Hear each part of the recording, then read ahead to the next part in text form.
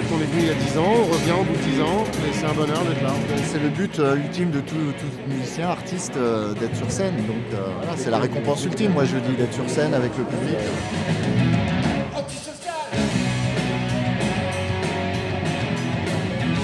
Repense à toutes ces années de service.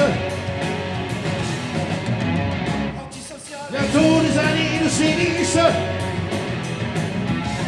Enfin, le temps perdu qu'on ne rattrape plus.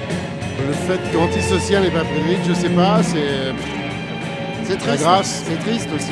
C'est triste aussi, ouais. Parce que ça n'a pas bougé, que ce soit toujours d'actualité, quoi. C'est bien que ces choses-là euh, n'aient plus de sens, et malheureusement, ça en a toujours, donc. euh,